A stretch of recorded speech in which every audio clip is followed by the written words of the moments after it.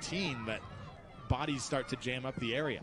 Hennessy with the corner for the Horned Frogs. Gracie Brian with the strike and the score. Gracie Brian about waste. We'll take it. A transfer from VCU, originally from San Antonio, went to Lee High School. That one is in.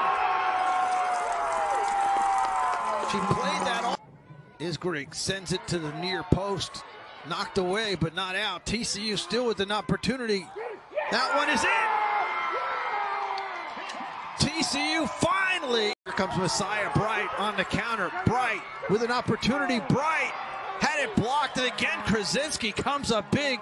There's Lancaster, and it's Lancaster with a strike, and the Frogs.